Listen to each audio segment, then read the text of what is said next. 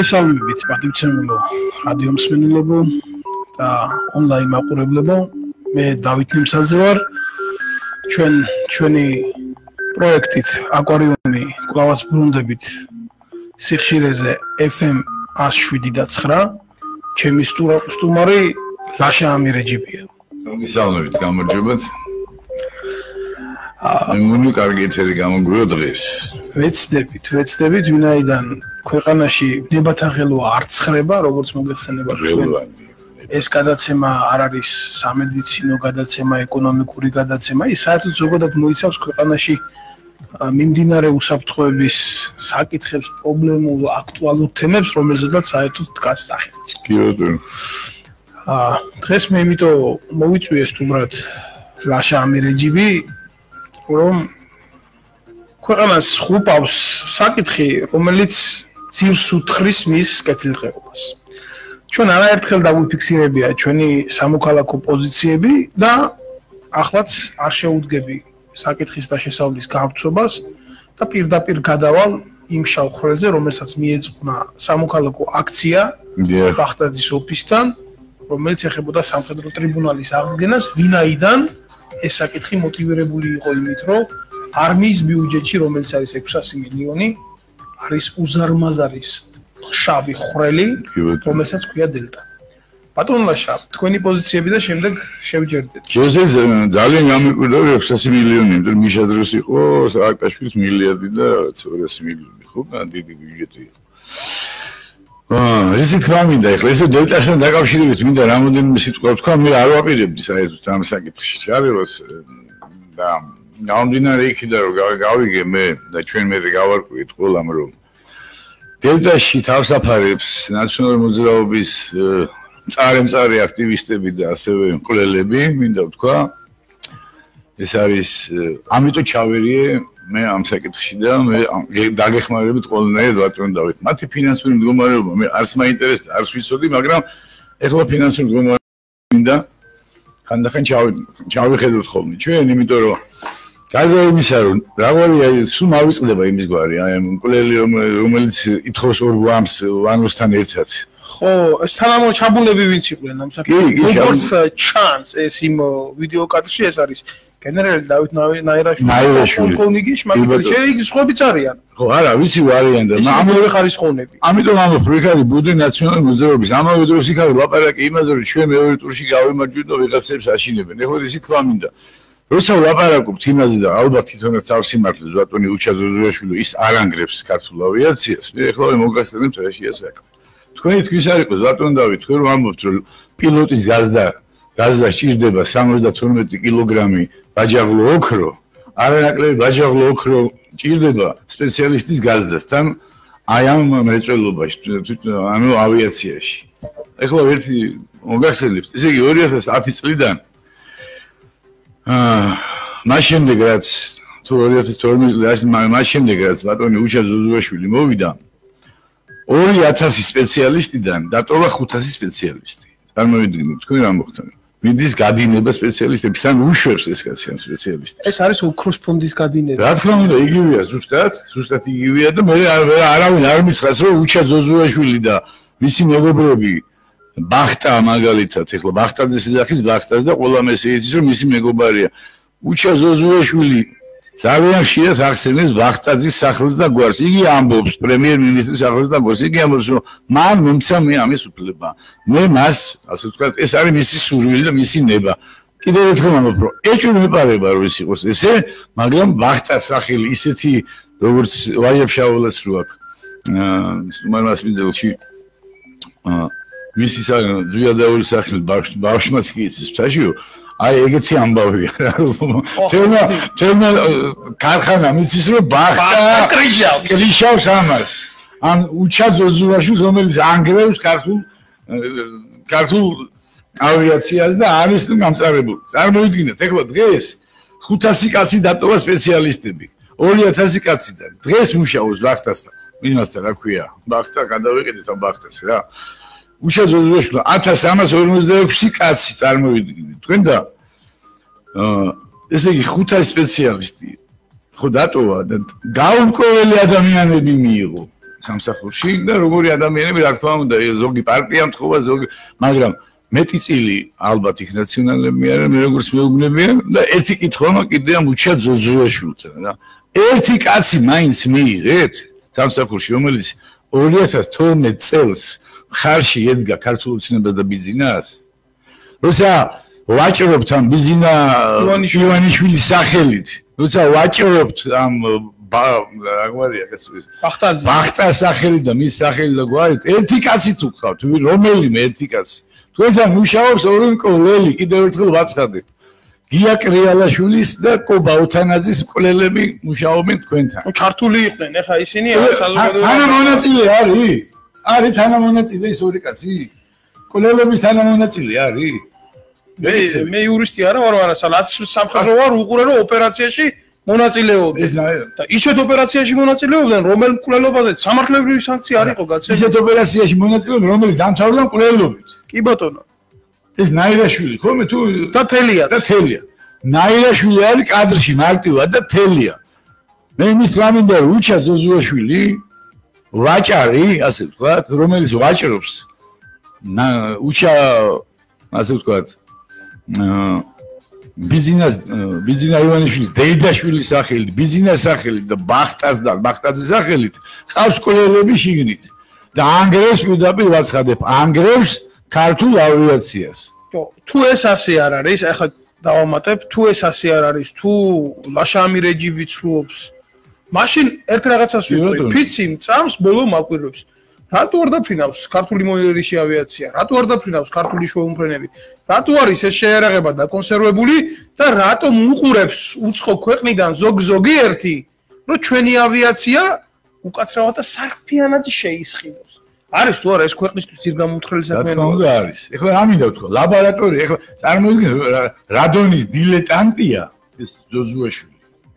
ლაბორატორია დაკეტა რომელიც პრაქტიკულად თუ ეს ლაბორატორია არ არსებობს ვერანაირად ვერ ვერ სრემოს ვერ გააკეთებს თვითონაც ვერ საათს თვითონაც და ვერანაირად ვერ მოემსახურებს ეს არის ლაბორატორია ავიონიკის ჰიდროსისტემის ელექტრონიკა რაღაცა შეერაღების მართვის სისტემა და ასე ანუ ეს ეს ლაბორატორია იმდენად უვიცია იმდენად უვიცია და მტერია საკუთარი ქვეყნის რომ ეს ყველაზე მთავარი ლაბორატორია, რომელიც არის საჭირო და აუცილებელი მის გარეშე. წარმოიდგინეთ თქვენ, რომ ერთ ჩანჭის ვერ მოუჭერთ. ვერაფერს ვერ გააკეთეთ, პირდაპირ ის დახურა. რა თუნდა ეს ლაბორატორია იქ შექმნის 14 დეპარტამენტის უფროს დაისვამს თვეში გაწერს 28000 ლარს და სამაგიეროდ იმად გადაუხდის ამას ეს წურბელა აზის პირდაპირ ქართულ შეერაღებულ ძალებს კისერზე და არც დაზვერვა, არც კონდაზვერვა და არც მისი მეგობარი ბახტა იქ რა ხდება თურმე არაინტერესი. იზურიას კი იზურია რატო აწევს 28 მილიონს ყოველ წელიწადს სახელმწიფო ბიუჯეტს ვერ გავიგე, როცა არაფერს არ აკეთებენ ეს ადამიანები, აბსოლუტურად. ახეთ კიდევ ერთხელ მინდა ერთი ამა მინდა ვთქვა, რომ ამ 2000 კაციდან, უბრალოდ 1400, 1000 ეხლა ამენს არის დარჩენილი. დარჩენილი 1346 კაცი თუ არ ვთები, აქედან დადის ალბათ სულ 300-400 კაცი სამსახურში, იმიტომ რომ არც რატომ უნდა იარონ, როცა არანაირი საქმე არ აქვს. უჩევნია სახში ისმენ, მაგრამ ხელფასი მისდით. ანუ რა რა ხდება? ბიუჯეტს წველიან ესენი. ბიუჯეტთან სწორება მათ არ აქვს, იმიტომ რომ ეს დელტა არაფერს არ ქმნის აბსოლუტურად. ეს მიტრაში ეს. ანუ ბიუჯეტი მათთვის არის წველავი. ძროხა კი, როგორც იტალიელები ამ ხო, ძროხა რომელსაც წბელი, მაგრამ ბალახს არა. ბალახს არ აწვდი რომ კიდე ამან რაღაცა ზე მოგიტანოს, ხო? ბალახი ხო ჭირდება ძროხა. ზუსტად მესმის თქვენი ანუ ესენი წველიან ამ ბიუჯეტს. თითი თითი ადამიანები გაგნებაში არ არიან, რატომ იღებენ ხელფას? რისთვის იღებენ ხელფას? აი მაგაში რას აკეთებ? აი მაგაში ვერ დაგეთ. რატო ვერ დაგეთ? რატო ვერ დაგეთახმებით და იმ იმ საზოგადოებას, რომლებმა ძალიან ბევრი ცოდვები იცის, თხევანდელი კოაბიტირებული საზოგადოების, ძოძოაშვილის, იზორიასი და მავალი საზოგადოების რომ დარჩნენ უმუშევარი და რომ არ მოწველონ ის ძროხა რომელსაც სახელმწიფო ქვია ხო გაუჩინდებათ მე მემუარების წერის სურვილი ერთი არ დაგავიწყე ასე რომ თურმე ცოდნია ეს ბიუჯეტის ფული ჩვენი ფულია. გადამხდელების ფულია ვინც ვიხდით ფულს. ჩვენ ვინახავთ ხელისუფლებასაც და ამავე დროს ჩვენ ვინახავთ აბსოლუტურად უმაქნის სიფს დელტას. აბსოლუტურად უმაქნის. წარმოიდგინე ეხლა მე სანამ გადავალ კიდე ერთ საკითხს ბატონ დავით მე რაღაც ვთქვი დოკუმენტაცია ჩავიგდე ხელში და მათ შორის მე მინდა ვთქვა რომ მე ჩვენი შემდეგ გადაცემა მე ისედაც ამას გავაჟღერებ მაგრამ თუ გნებავ თქვენთან გავაჟღერებ პირველ რიგში მე შემოვლები მე შესყიდვების სამსახურის დოკუმენტაცია მომიტანეს. გასლაბა დელტა შესყიდვების სამსახურის საოცრებები ხდება იქ ჯანჯიკი რომელიც ღირს 5 მანეთი გაფორმებული აქვს 200 მანეთი და 7 მანეთი და 15 200 ჯერ უკაცრავად საუბარია შეწყვიტოთ მე მე ვიცი ინფორმაცია უბრალოდ მოვერიდები რადგან იარაღს ეხება ეგ ინფორმაცია. ერთი პატარა მილაკი რომელიც ღირს 18 დოლარი ამათ აქვს შეწყვიტაში გაწერილი 780 ლარად. აი ესეთი ამები ხდება. ეხლა გეტყვით 350.000 ლარი კიდიაც კისერზე და ვერანაირად ძალიან ცდილობენ რომ რამენაირად ჩამოწენენ მაგრამ ვერ ვერ ჩამოწერენ და რატო ეხლა ვეკეთოთ მათ უნდა ეყიდათ ფოლადი. ის ფოლადი რომელიც უნდა ეყიდათ მათ ის ფოლადი არ იყიდეს და დაბალი ხარისხის ფოლადი იყიდეს. და პრაქტიკულად უნდა ესე ვთქვათ რომ მოტეხეს ფული. ფული ფული ფული იშოვეს აცაზუაშვილი მაგას არ არა ხო ვერ იზავდა და საბოლოოდ მოხდა ისე რომ მეორეს იყიდეს კიდევ ოღონდ ის ფოლადი რომელიც მათ ჭირდებოდა იმიტომ რომ ეს ფოლადი უარგისი უარგისი აღმოჩნდა. აი რაღაც დაუშვათ იგივე და სად არის მედეგობის სამსახური ხარისხის სამსახური. მოგახსენებ და ეს ეს ეს პოლადი დევს მათთან საწყობში და გაგიჟებულებიან რამენაერთ უნდა ჩამოწეონ ვერ წევი. წარმოვიდგინე 350000 ლარი გადაიხადეს იმიტომ რომ ეშოვნათ ორი კაპიკი ფული ზოზუაშვილს ამ შენ ხარ მე არ ვიცი ზოზუაშვილი აი რა დავარქვა რა ბიუჯეტის რაღაცა წურბელა ვირთხა ხარ ბიუჯეტის ჩამელი ხარ ბიუჯეტის ან და ასე შემდეგ. ანუ ეს 350000 ლარი კისერზე აქ ჩამოკიდებული სახელმწიფოს მაგათ არაფერი არა ამათ ამათ იმიტომ რომ ხვალ კომისია შევიდეს ხვალ შევიდეს კომისია რომელიც ისეთი რა არ ამოსკვიდილი კომისია. და არამოსყიდული და არადაკრეშული კომისია. და არადაკრეშული კომისია და შესაბამისი სტრუქტურები. მათ უპოვიან არა მარტო 350000 ლარს რომელიც კისერზე კიდიათ მან მათ არამედ უამრავ რამეს? მოდი ბატონო. რა მინდა თქვენ დავამთავრე მიმართავ ამ საკითხთან დაკავშირებით ორი წუთი. მე მოუწოდებ ახლა აუდიტის სამსახურს 350000 ლარი ეს არ არის თემა ბატონებო ამ ქვეყანაში ბავშვები შიმშილობენ მე მოუწოდებ სამსახურს თავდაცვის და უშიშროების კომიტეტს რომელიც რომელიც უშუალოდ ააკეთებს ამ უცხების კონტროლს 350000 ლარი რომელიც არის გასროლილი. ჩვენ გვაინტერესებს თქვენ ყავთ პრეს სამსახურები. თავდაცვის სამინისტროს ალგე ყავს პრეს სამსახური მაგო ოფის ეგრეთ წოდებულ კანტორას გაგვაცნეთ საზოგადოებას. ან ჩვენ დაგვდეთ ბრალი რომ ჩვენ ვწვოვთ კი ბატონო. და მოდით ახლა პირდაპირ ვთხოვოთ ბახტას მე მინდა მსმენელს უთხრა რომ ასე პირდაპირ ბახტას. დიახ პირდაპირ ბახტას იმიტომ რომ იმდენად იმდენად გაცვითა უჩა ზოზუაშვილმა პრემიერ პრემიერ მინისტრის სახელი რომ მთელი ესე იგი ქარხანა და მთელი დელტა მას ბახტად მოიხსენიებს. მოიხსენიებს. ну ეხლა ჩვენ კიდე ჩვენ კულტურული ხალხი ვართ. ჩვენ როგორ ჩვენ პრემიერის ბახტად არ მოიხსენიებთ მე მინდა ვთქვა ბატონ გიორგი ბახტაძეს თქო ბატონ გიორგი იქ თქვენ ჩაერთოთ ამ საქმეში თქვენ მე ვიცი რომ თქვენ თქვენ მეგობარს არ გაუგზავნოთ იმ უწყებას რომელიც სინამდვილეს გამოვიტანს იქიდან და სიმართლეს მოგიტან თქვენამ მოიტანს თქვენამდე მაგრამ მე გირჩევთ რომ ჩაერივოთ იმიტომ რომ ეს ესე არ დამთავრდება. მე პირადად არ გავჩერდები იმიტომ რომ იქ არიან კოლელები გია კრიალაშვილი და კობა უთანაძის და უამრავი დარღვევა აქვთ აქვს თელ დელტას. და კიდევ ერთი ამინდა თქვა ბატონ დავით მე ჩემ მეგობრებს მინდა მიმართო ნუ მე ესე მათ ესე უწოდებ. კობა კობალაძეს აკია ბარბაქაძეს გია კრიალას გია ყარყარაშვილს ყარყარას გენერლებს და ბატონ დავით თევზაძეს და ასე შემდეგ რომ ხალხო თქვენი მეგობარი გია კრიალაშვილის კვლელები მუშაობენ იქ და იქნება მომეხმაროთ იმაში თქვენი მეგობრის ბატონი გია კრიალაშვილის, გენერალი კრიალაშვილის კვლელები მუშაობენ დელტაში. თქვენი კოლეგის იქნება თქვენს დამეხმაროთ ამ საკითხში.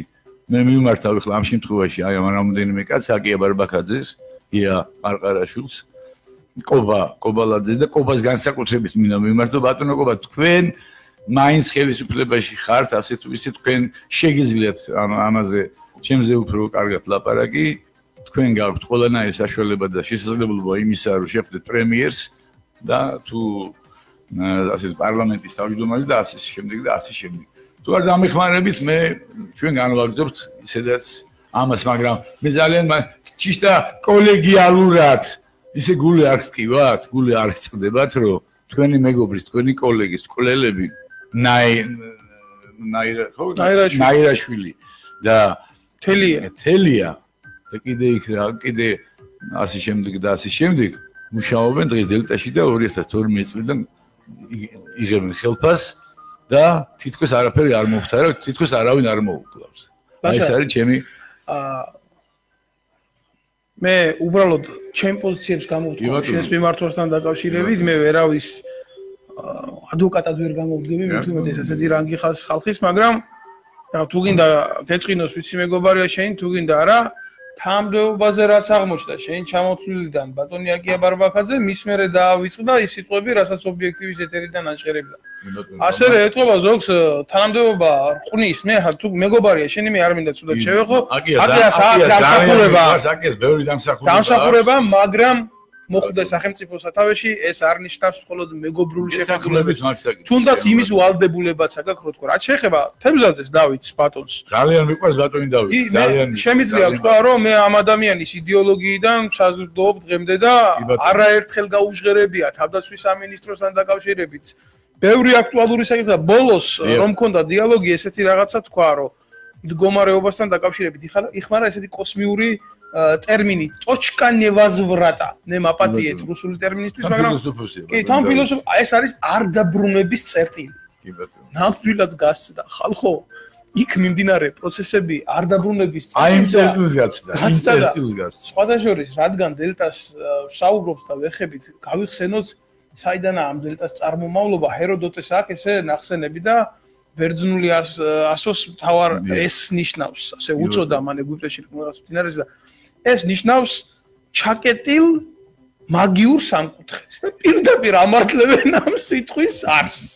შემიძლია ასე ვთქვა და ბატონო უჯა არ ვიცი ახლა რომელ სამკუთხედში დგახართ დელტა სამკუთხედში თუ ბერმუდის სამკუთხედში მაგრამ ერთი რაღაცა იცოდეთ. ბახტასაც მეუბნები აგერ. ხო. აპრობირებულად ახლა ასე მოგიხსენიებენ თქვენ და თუ სამოქალაქო პროტესტს თქვენ ყურს არ მიუგდებთ არ მოისმენთ მე ერთი რაღაცის პირობებს პირობას გაძლევთ რომ აი ხომ კინეული იყო ის რაც გუშინ მოხდა თქვენს ოფისთან ბატონო პრემიერო. ეს მასა წალღისა გაიზრდება ჩვენ შეგნებულად არ მოვედით იქ დიდი მასით. ჩვენ მოვედით თქვენ რომ შეგაგონოთ რომ ეს ასე სახელმწიფოში არ ხდება ვინაიდან სახელმწიფო თქვენი პირადი ბოსტანი არ არის ამას ბახლაზე საროეუბნები ამას ძოძუაშვილს მეუბნები, მაგრამ მითხარი, ვინაა შენი მეგობარი და გეტყვი ვინ აღარ ჟენო და ძველი ქართული ანდაზაა და რა ვქნა ვერ გავექცევით ამ ამ რეალობას და ლაშა აგერ გეტყვი გულახდილად ამ სიტუაციას, რასაც ჩვენ ვახსენებთ. რომარ რომარ მოყოლოდა ისეთი ბმა, რაც მე შენ მოგიყევი და გაგაცანი. კიდე ესეთი გულანთებული არ ვიქნებოდი ამ ბრძოლაში, მაგრამ ესე იგი ადამიანი რეპრესირებული ოფიცერი, რომლის ავტორებიც დელტაში ახლა დღეს ამ ორი ყოლობაში ჩაბმული პერსონის სახით ზიან. უნდა ჩამოსულიყო იმ აქციაზე. ესა ტიპიური მსხვერპლი და მაგალითი წინანდელი რეჟიმისა. კაცი, რომელიც ოფიცერი დაიჭირეს, ჩვენ თქვენ აქციაზე უნდა ჩამოსულიყო. ხო, მაგას ამბობთ. მოდი, გავაზღეროთ მისი სახელი. ესა გიორგი ფარცვანია, გოგიტა ფარცვანია. და მომისმინოს კარგად შინაგან საქმეთა მინისტრმა, მომისმინოს პროკურატურამ. დამკითხონ ამ საქმეზე, მე შემიძლია მათ წარუდგინონ მტკიცებულებები. უნდა ჩამოსულიყო და უცებ ხდება რომ წერს რომ დავით დიდი ბოდიშის მოხდით, მაგრამ ჩემ ოჯახზე იყო განხორციელებული მუქარა, ეს არის ადამიანი, რომელიც ნაციონალურ მოძრაობამ ჯერ დაიჭირა, მერე ციხეში აწა მაგლდანის ციხეში, მერე ტუბერკულოზით დაავადა და ბოლოს ფსიქოლოგიურ საავადმყოფოშიც მოახვედრა სამკურნალოდ. ფსიქიატრიულში. კი, ფსიქიატრიულში და მერე მის ოჯახს გაუგზავნა ხელწერილი დაადებია, რომ თუ მას გაუჩნდება სიმართლის საუბრის ჭურვილი, ისევ შევაბრუნებთ იქ. აი ესეთ ადამიანს რო დღეის მდგომარეობით ბატონ ბახტაძე იმ აქციაზე არ მიხვიდეო? ჩაიჯინეს მანქანაში, პიკაპმა გაუჩერა წინ, გადაიჯინეს მანქანაში და დაელაპარაკნენ და უთხრენ: "შენ თუ იქ მიხვალ. ჩვენ შენ ოჯახს გაუსწორდებით და დაშა რამ შემძრა, იცი?" ცოლი და ქმარი დღეს ერთი ერთ ბავშვს ყარაულობდა სკოლაში და მე მეორე ბავშვს ყარაულობდა. აბა რა იქნებიან? პირდაპირ ვეუბნები აგერ შინაგან საქმეთა მინისტრს. ეს დაველაპარაკო და მივიღოთ ავიღოთ ინტერვიუ მაგ ბიჭისგან. კი. აგერ ვეუბნები შინაგან საქმეთა მინისტრს და პროკურორ თადუმაძეს, რომელიც ხოლმე შორის ახალი პროკურორი ზამბევ რამეზია თავისი კანტორით მოკოქილი და ზამბევ საქმეს დააკაჭი, კი, ჩემი ინფორმაცია. მაგრამ მე ვეუბნები თადუმაძეს, ყოფილი სამხედროა, იქ მუშაობდა თავდაცვის სამინისტროში, თადუმაძე.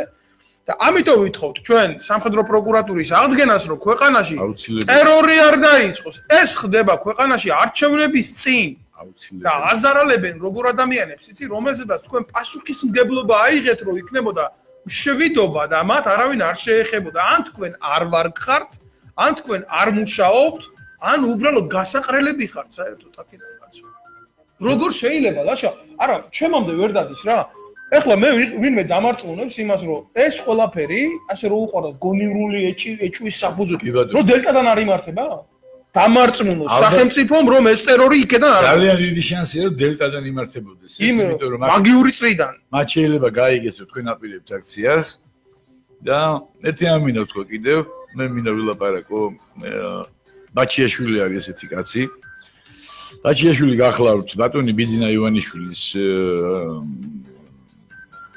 აქტივების მაყურებელი და მოდი დავარქვათ მას მოლარე. კაი თანამდებობა გონია. კაი თანამდებობა. და ბაჩიაშვილი ძალიან სერიოზულად, ასე ვთქვათ, ბატონ ბიზნესთან ხარს უჭერს უშა ზოზუაშვილს, რომელსაც აი ესეთი უბედურებები აქვს შიგნით სამსახურში, გარეთ თუ შიგნით. წარმოიდგინე, ერთ ეგ არის ესე იგი ბაჩიაშვილი გახლავთ.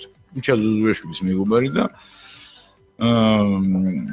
ბატონ ბიზნესთან ბაჩიაშვილი ასე ვთქვათ არის პასუხისგებელი კი არა ადის და აი ყოველთვის ეუბნება რომ იგი არის გადასარევი ბიჭი მას აქვს ყოველთვის კარგად მას გადასარევად მუშაობენ ყოველთვის კარგად აკეთებენ და ასე შემდეგ და შემდეგ და ნუ იმ კაცად ჯერა და ნუ აი მოდით ახლა ბატონ ბიზნესი ესეთი შევახსენოთ რომ მან ერთი წელი მოითხოვა ხოლმე არჩევნებია და მე თითქმის დარწმუნებული ჩვენ მოვიგებთ გავიმარჯვებთ არჩევნებს და ერთი წელი მოითხოვა ბატონო ბიძინამ ჩვენ პრაქტიკულად ეს მივიღეთ მოსახლეობამ მას მივეცით ამის შანსი.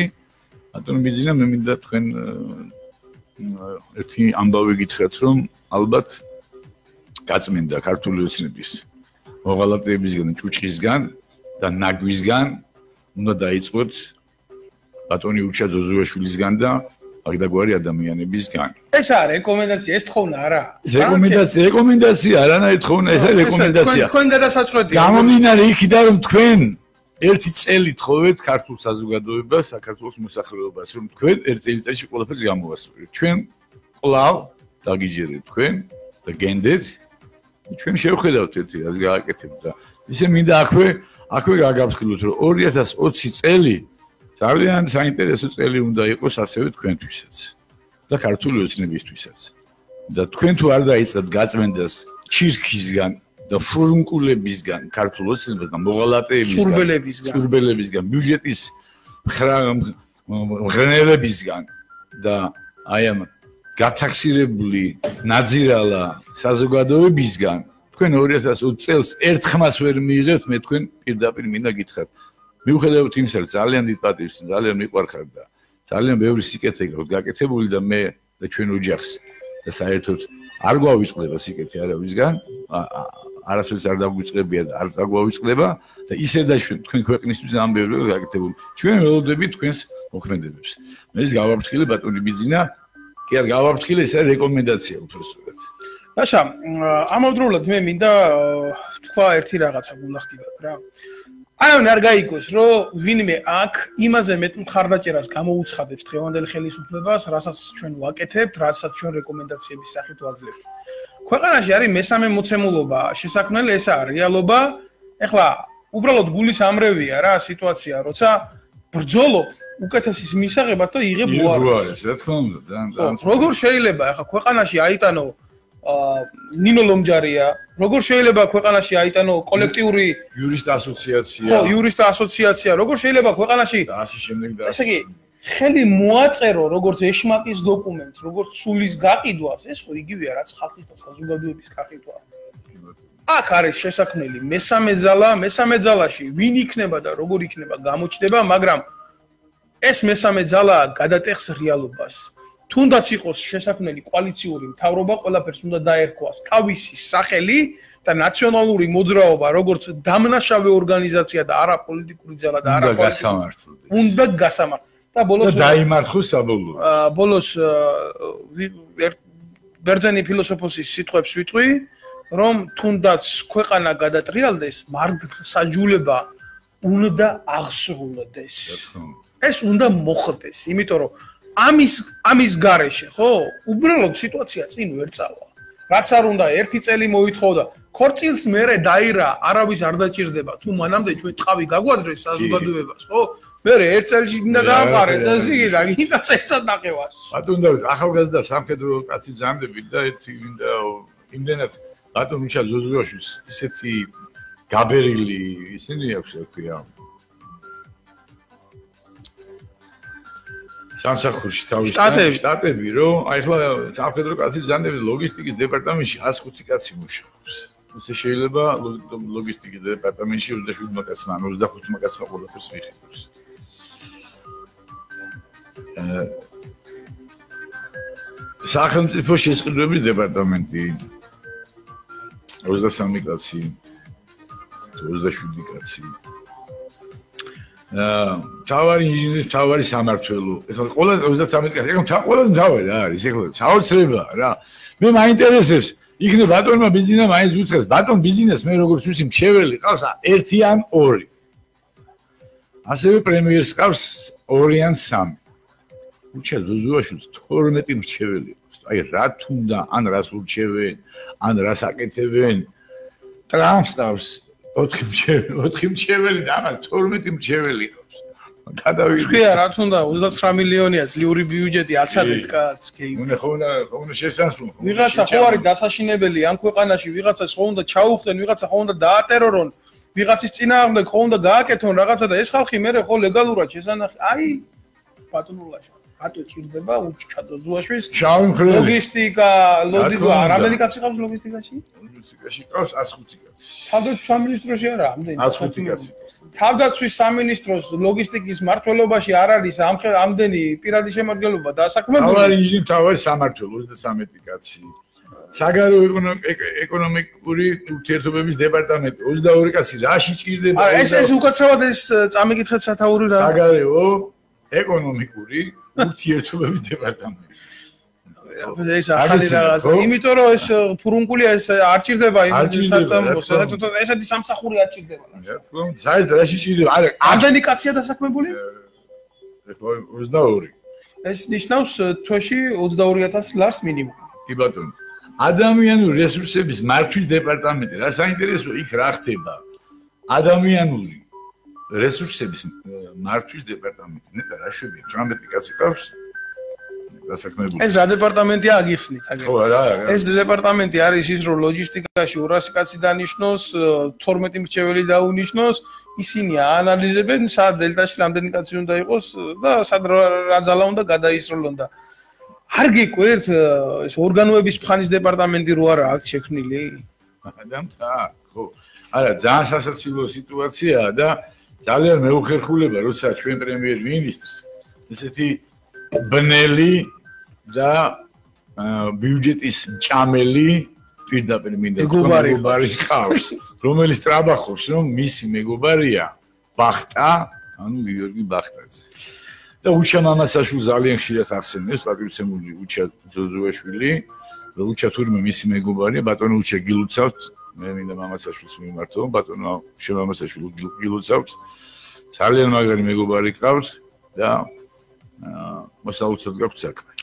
აა საზოგადოებას შევახსენებ რომ თუ ვინმეს ეს კონკრეტული სახელები და გვარაგვარები არაფერს არ აძლევს ეს არის თქვენზე დაკლებული პენსია, თქვენზე დაკლებული ხელფასები, თქვენზე თქვენ სახლში არ შემოტანილი პური, თქვენი შვილებისთვის წართმეული საჭმელი, გარეთ მოშიმშილე ბავშვები, უპატრონოდ დაყრილი პენსიონერები, აი, ესენი არის ეს, ამათ ქვია კორუფცია, კორუფცია არის ბერძნული სიტყვა, ლათინური სიტყვა უკაცრავად და ნიშნავს აფუჭებ. ისინი მაგრამ ეს მარტო აქ არ ხდება, ეს ეს ეს ხდება გლობალურად. ისინი აფუჭებენ სახელმწიფოს. ყველა სამინისტროში, გარზელ ბატონ დავით, ყველა სამინისტროში ხდება ეს. აგერ ჩვენ გვაქვს შემოსავლები, ჩვენ გვაქვს საბიუჯეტოს სახსრები და საკუთარი შემოსავლები. ყველაფერი გავიგე აბსოლუტურად, ყველაფერი გავიგე. დასაქმებულთა რაოდენობა სულ შრომის ანაზღაურების წლიური ისა საბოლოო 91 ოღონდ საბიჯრო სახსრები გავიგე რომ 2014 წელს ქონდა 28 მილიონი 2015-ში ქონდა 26 2016-ში 28 2017-ში 22 მაგრამ აი საკუთარი შემოსავალი ყოველთვის რა ხდება და რაც ნიშნავს იმიტომ რომ აი იქნება რამე სამხედრო ტერმინია და მე არ ვიცი მე არა ვარ სამხედრო კაცი თქვენ სამხედრო ხარ და ამიტომ მაინტერესებს. აა მე არც ესე იგი უჩა ზოზუაშვილი საკუთარი შემოსავლები. აი არს ეგეთი გრაფა შემოსავლები. შემდეგ მოდის საბიუჯეტო სახსრები. შემდეგ მოდის საკუთარი შემოსავლები. გაახლოებით მივხვდი რასაც ისნავზე. ოღონ სარკაზმის გარეშე მე როგორც ვიცი რამოდენიმე ადგილზე იღებს ბატონი უჩა ხელფას აღაჭირებულ პერიოდში და სადმე ეთყობა შემოსავალი მიაკდა კიდე და მიაწერა აბა ხომ უნდა ხომ უნდა გაწეროს მე მე მე არ დადის. ჩემგან სადაც არსებობს რაღაცა კოსმო კოსმონავტიკასთან ურთიერთობის დეპარტამენტი, ორგანოების ფხანის დეპარტამენტი. რატო არ უნდა იყოს შემოსავლების საკუთარი შემოსავლები? არა, მე ისე დეპარტამენტმა რა დააშავა ბატონო? მე ამა ინტერესებს. საკუთარი შემოსავლები არის 283400. ცოტა 2015-ში აქვს 1.454.000. 16-ში აქვს 9.260.000. ანუ ეს მისი ფულია საკუთრება. არა, არა, ქართული ენა იმდენად ღარიბია. ამის ყიდულობენ საკუთარი სოლებისთვის. არა, არა, არა, არა, უკაცო. ეს ეს არის ქართული ენა იმდენად ღარიბია, რომ სხვა ალტერნატივა საბუღალტრო ენაში ვერ მოგვიძებნა. ვერ მოიძებნა და ესე დაწერეს, ხო? სულ შრომის ანაზღაურება წლიური და ასე შემდეგ. ესე იგი 14-17, 15-17 ეს ამ რამდენი კეთილი საქმის კეთება შეიძლება ამ ფაშიჯარისთვის. ხო, მაგრამ ბატონო უშამ თავარი ზოზუაშვილმა და ასევე ბაშიაშვილს მინდა მიმართო ბატონ გიორგი ბაშიაშვილი ქვია, ხო? მე მომენტ ავსტები ხალხო ბიჭებო თქვე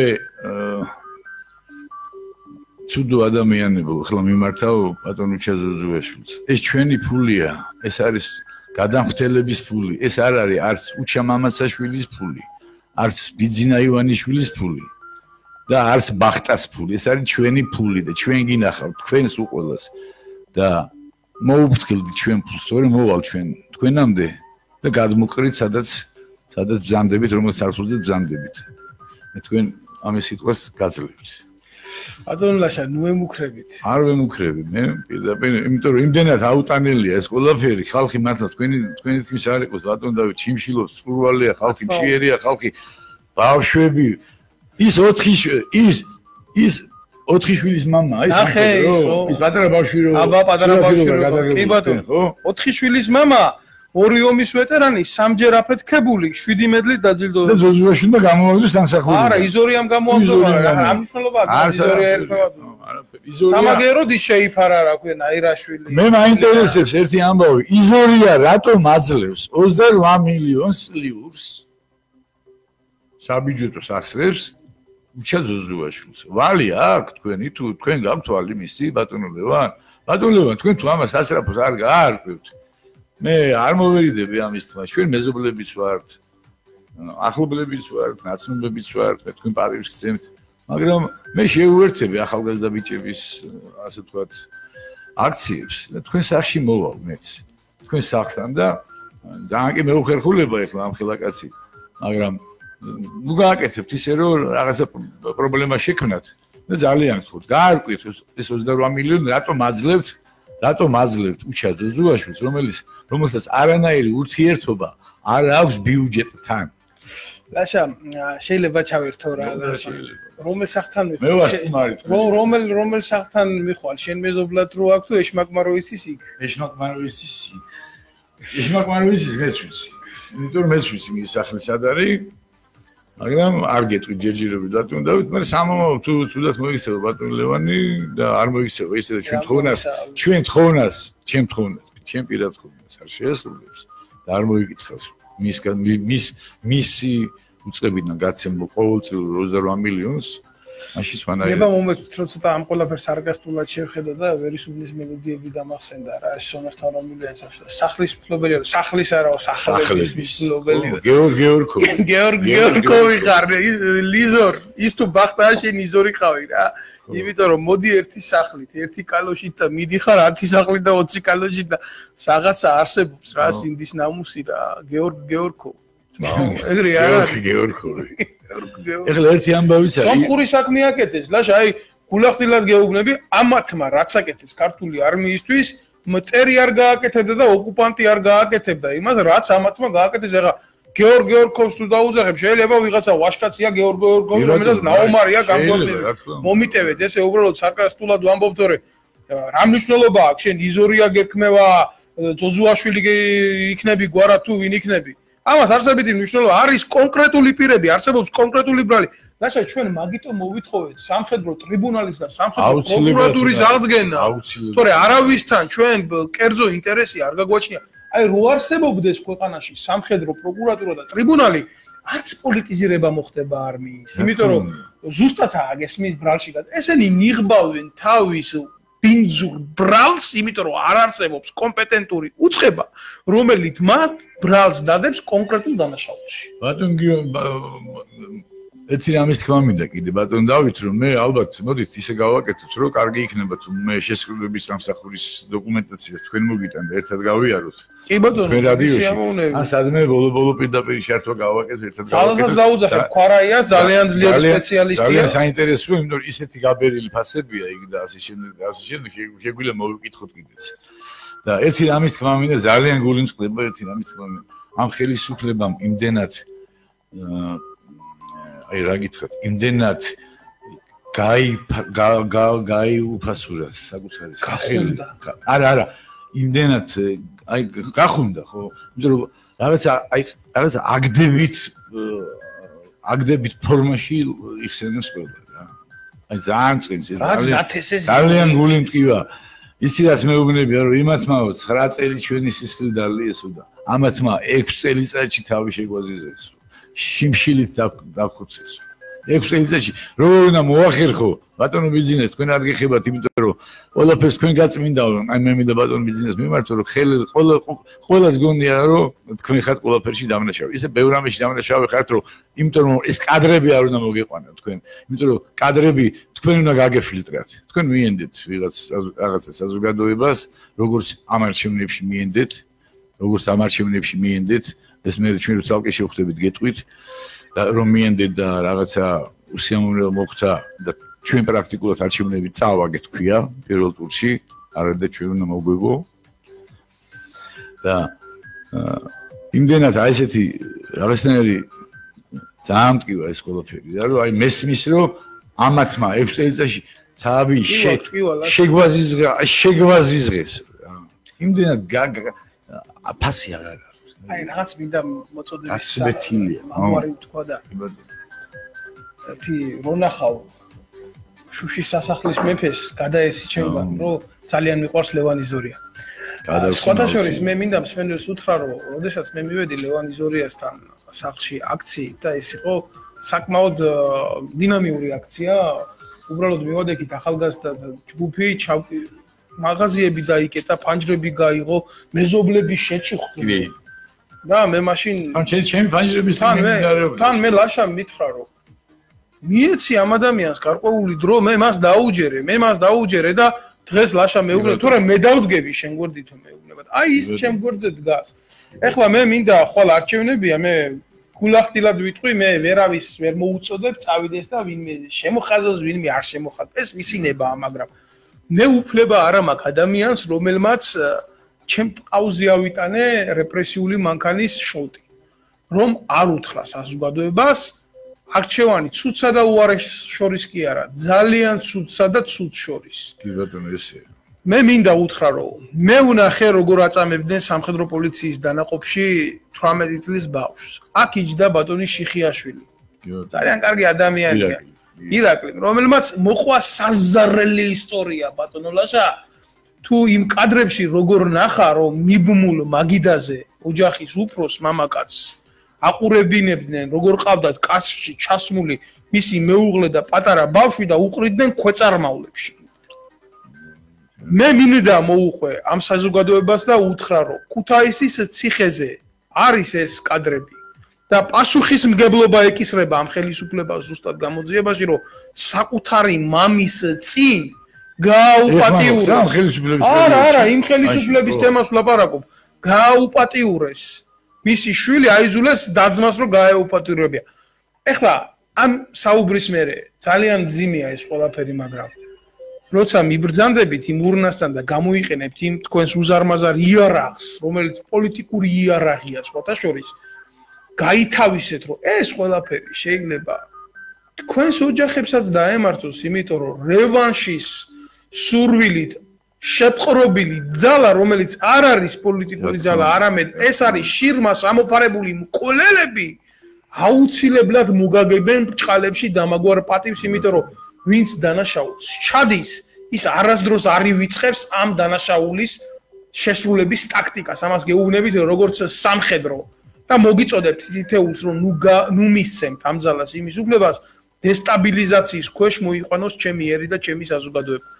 ეხლა ბოლოს აპირებით ხო იცით ბატონო მე მაქვს ინფორმაცია რომ არ შეიძლება მაინც გადაწყვეტილი აქვს მე მინდა მიმართო ჩვენს ასე ვთქვათ მაყურებელს და მსმენელს რომ მაინც არ ჩერდებიან, მაინც დაქოქილები არიან, მოქოქილები არიან იმისთვის, რომ ასე ვთქვათ, შემოიტანონ დესტაბილიზაცია საქართველოში. კი, აი ახლა დასასრულისკენ მიდის ჩვენი გადაცემა და მე მინდა გულახდილად უთხრა საზოგადოებას, მე მინდა უთხრა ხალხს, რომ ძალიან ძიმე ეთერი იყო, ეს არ იყო იული ეთერი, თუმცა მე როცა ვესაუბრე ხელისუფლების წარმომადგენლებს, მე მითხრეს, რომ აი ამ კადრების გაშვება არ არ აგვაქვს მაგის უფლება, იმიტომ რომ ქვეყანაში დაიწყება სამოქალაქო ომი. ახლა ლაშა მე ვიტყვი გულახსენ. ჩემთვის სულ ერთია, როგორ დაიწყება ქვეყანაში სამოქალაქო ომი. დაიწყება ეს ამ კადრების რეალობის ჩვენებით საზოგადოებასთან თუ სხვადასხვა ხრიკებითა და მეთოდებით უცხო ქვეყნის საგარეო დაზვერვის წყალობით, რომელიც ბრიტანეთის საელჩო და სხვაები, რომელიც აფინანსებენ ესეთ დესტრუქციულ ძალებს, მოახდენენ ხელისუფლების უცეცხლოდ გადაბარებას და იმ რეალობის გაგრძელებას, რომელსაც დღევანდელი ხელისუფლება უმალავს საზოგადოებას. და რომელიც თქვი ოჯახის წევრების წინაშე ქვეწარმავლების ჩაყრა იქნება კასში თუ ოჯახის წევრების წინაშე ოჯახის წევრების გაუპატიურება, ოჯახის წევრების გამოყენებით. ჩვენი გადაცემა დასასრულს მიუახლოვ და მე ვიტყვი, ჩემი სურვილი და არჩევანი არ არის ალომე ზურაბიშვილი, მაგრამ მე მივდივარ იქ და მე ნაციონალურ მოძრაობას ხვალ უკლავ ერთი პატარა მოტივის გამო, იმი მოტივის გამო, რომ ამ ქვეყანაში ზეგიდან უკვე შეიქმნება სხვა პოლიტიკური რეალობა და მესამე ძალა ამ ქვეყანაში დაანახებს ამ ხელისუფლებას სხვა პოლიტიკური შეგნების და სხვა პოლიტიკური გაქანების რეალობას. ერთი ამის დამატება მინდა შეიძლება ეს ცოტი რომ ეს არის მე მინდა საზოგადოებას მიმართო და თხოვ ერთი ამბავი რომ ხვალ ყველა წავიდეთ არ დავიზაროთ არჩევნებზე ეს არ ეს არ ნიშნავს. აი ეს ეს რაღაც სხვანაირი არჩევნებია და აბსოლუტურად სხვა რამე ქვია. ამას ქვია ჩვენი ქვეყნის, ჩვენი ერის, ჩვენი შვილების, ჩვენი ოჯახების გადარჩენის არჩევნები. მე ესე დავარქვი ამ არჩევნებს. ჩვენ თუ გვინდა რომ ჩვენი შვილები გადავარჩინონ, ჩვენი ქვეყანა გადავარჩინოთ. ბოროტებისგან, სისასტიკისგან და უბედურებისგან ყველა წავიდეთ ხოლმე ვიცით ქალბატონ სალომეს ხმა. აი მე პირდაპირ მინდა ვთქვა, იმიტომ რომ ესენი თუ მოbrunდნენ ჩვენ ძალიან სულ დღეში ჩავარდით. ძალიან დიდი მადლობა ყურებელს. მადლობთ თქვენთან ლაშა ამირეჯიბი და დავით ნემსაძე იყო გადაცემას აკვარიუმი ქვია ის უსაფრთხოების საკითხებს მოიცავს. ბატონო ჯარისკაცებო, ბატონო მოქალაქეებო, გისურვებთ მშვიდობას, რადგან მშვიდობა უმთავრესია.